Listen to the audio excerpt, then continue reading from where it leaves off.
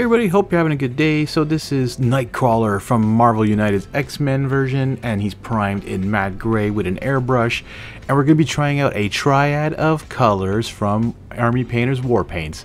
I know this is not new to most of you, but it is new to me because I've just recently got into airbrushing. And we're starting off with a color triad in the blue department, because Nightcrawler is blue, and I figured this was the best place to start trying out these triads. And then we're starting off with Omega Blue. So what is a triad of paints? Well, let me explain to you. Army Painter's War Paints, it has a huge set. And in a total, I believe it's 34 triads with some metallic paints and some shades and stuff like that. But the triads, what it is, is it gives you a base coat, a mid-tone, and then a highlight, so a high tone. So that's what we're going to be showing you a bit. That's why I slowed it down. I didn't want to do the full fast forward here. I want to show you how well these air paints cover and how precise they can be even not using a brush, right? Because you can do everything with a brush that an airbrush can do, but you can't do everything that a brush can do with an airbrush. Remember that, alright? Because as you can see, it can get messy. You can get spots that you're not wanting to get when you're doing an airbrush. Even if you're a little bit really close, you can get a spot you didn't necessarily want to get. So you got to be careful with that. And again, coming back to this triad, so you'll even have a triad of um, and uh, of like blacks and whites and grays and greens and purples, and it's amazing. So if you have a chance to get at least a few of them, and if you're airbrushing, take a look at Army Painter's air paints. Okay, it is a great opportunity to get that highlighting done, highlighting done on your armies as a base coat, and then you can come back in after and do all your highlighting and do all your uh, your uh, your colors that you want to do, your shading, and all that fun stuff. I mean, so I had a lot of fun with my new airbrush here, painting up Nightcrawler. Uh, this is a friend of mine who recommended it. Thank you again, Honest Abe, uh, for following along on the channel and uh, recommending some miniatures. Uh, you can also recommend miniatures if you want from the games I'm actually currently painting. If you see that I'm painting something and you have it and you haven't painted it yet and you'd like to see how I paint it to give you ideas, mention in the comments below and uh, I will try and get to it in the upcoming videos. So now we're going to move on to ultramarine blue. So you might know this color, they have it as a primer and they have it as a war paint as well. Uh, so I am putting this on top, just a little bit on top of the raised edges, like so what's on the top of this miniature, and it gives a little lighter coloration. Not much because it's not a huge difference uh, in this triad anyways. I didn't I noticed there was like it looks like on the models a bit but not very much. So you're just slowly getting the top parts uh, whatever maybe the light would hit. And then we're to finish off this triad with the console blue. And this is going pretty much just like his hair, the top of the muscles on his arms, his legs, his knees, and just the top part a bit of his uh, his tail there. So really just making it look like the light is coming from above and making these miniature really pop on a table. So if you have a chance again, take a look at those air paints. It's amazing. Next we're going to be putting a blue tone on the entirety where we put blue on this guy.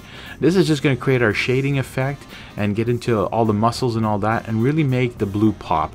And what's fun is that it kind of merges all the blues together but it still keeps that uh, triad uh, effect of colors. So you're going to get your darker and to your lighter colors of the blue. I'm looking forward to trying this uh, on other miniatures in the future. Maybe I have some green I can do that with. I have the white. I only got a few here and there just to test them out. I don't have many, uh, but if Army Painter you're watching and you want to send me a few to demo, I'm more than welcome to try them out for you. Um, Mars Red is next. Uh, this is going to be for his suit, uh, so it goes up and down his back and the front here. Uh, he has a, like you can see in the artwork there, he's got a very orangey color. And what gave me the idea, by the way, for the triad is if you look at the artwork on the side there, I know my hand's covering it up quite a bit, but uh, you'll see a dark and light because the light's coming from the bottom. I didn't want to do the light from the bottom. I have a hard time with that whole OSL thing. I just want to do it from the top and go from darker to lighter on this miniature. And so that kind of was like, hey, maybe I should test this triad thing out and see what it's all about. So when you're looking at the artwork, and I usually stick to the artwork as much as I can. Um, anyways, I try, and it gives me sometimes some motivation to, oh, okay, I want to test something different this time. And I, I've been trying some new techniques in that. So, you know, it's not your typical Easterling miniature, miniature painting today, but still doesn't matter, right? It's still showing you that even a person who's not a master painter, who's not even that great at painting in general, I'm definitely not an artist. I just love painting miniatures, and I want you guys to be able to paint your miniatures to a standard that you're comfortable with, and that is the point of this channel. Dark Sky now, or I forgot that this guy had like this collar uh, underneath his neck there and underneath that shirt of his. So I just went over that area there with this dark sky blue. So it's a very, very dark blue. Uh, and it kind of blends into the skin. So it kind of looks kind of neat that way. And it kind of gives it a different look to it as well. Some moon dust for the eyes now, just a little dab of this yellowish color, and then we're using some pale skin. I messed up his mouth there, uh, kind of went a little too much globbiness, uh, but it's still, I cleaned it up and uh, it turns out looking nice. We're also going to be doing this for his feet and his hands. He's wearing like gloves and I guess little booties. Uh, so somehow in the artwork you can maybe just see uh, the boots being blue, but I, I was like, that's kind of weird. I don't want to put more blue. Maybe it's even purple. I'm not sure, but I just went with the white just to give a little bit more contrast between all these colors on the, this miniature. And the blue would be a little bit much, I think. Uh, purple wouldn't be so bad. Um, but the nice contrast between that blue and that Mars red just really makes this miniature pop. If you haven't played Marvel United, it's a great little game, a family game actually, very easy for kids to learn. Very simple tactics. You play together. It's a cooperative game, so it's a lot of fun. Um, I, I have the base game of the Marvel United, uh, the Marvel United, and I have the base game of X-Men United, and I have a couple expansions, and I have some of the Kickstarter stuff because, to be honest, I didn't know every single one of those miniatures. Like the ones that they chose, I didn't know who they were, and I don't even remember them from the original 90s X-Men series cartoon there. I, I, knew some of them, but not all of them. I think there are a lot of them are from the comics I didn't know or from some of the newer uh, X-Men series out there. Anyways, next we're moving on to some Wolf Grey. This is actually from Vallejo, uh, or Vallejo. I don't know how you say it, but I think it's Vallejo.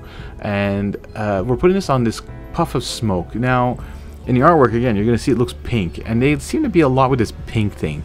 Like Gambit, when he throws his cards, is pink. Uh, Jubilee's glasses were pink.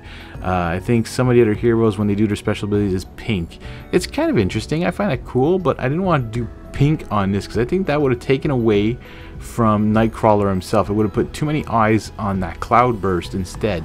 So I decided to go with this uh, Wolf Grey. It's got a very, very, very hint, tiny hint of blue to it. So it kind of like meshes into uh, the blue scheme here.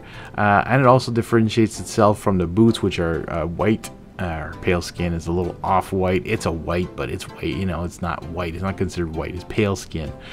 Alright, now we're to use some Castle Grey on the uh, base of this miniature. So what's cool again, uh, CMON went with textured miniatures. And by the way, speaking of Marvel, if you haven't seen the Marvel Zombies series, I am blown away by the miniatures in this thing. They even put uh, texture on the bases for like the uh, heroes, like the, the the enemies they're called, like the shield agents and the troopers and all that. I can't wait to show you guys a little bit more and paint, start painting those up because it's amazing. Some friggin' orange, I always call it friggin'. Uh, I don't know, Fuegan. Anyways, just to go over that Mars Red, give it some detail. And now that Soul Blight Gray, oh, my favorite shade of all for white. It's not Apothecary White, it's not Holy White, it's Soul Blight Gray. It just gives a nice little texture to white paints, gray, light, light, light gray paints. Uh, just getting that cloud to look a little bit more busy uh, just giving it a little bit more oomph to all his gloves and his stuff and all that just makes it look really great and I also put it on the base as well because the base is not the attraction right now I really wanted the focus to be on Nightcrawler himself and get him ready for the table and there you have it folks he's ready, painted, and barely no time at all. I mean, the airbrush was a little bit longer, yes, but it was so much cooler to use. I want to thank you guys for watching. Hit that like button, hit that subscribe button, and we'll see you all in the next one.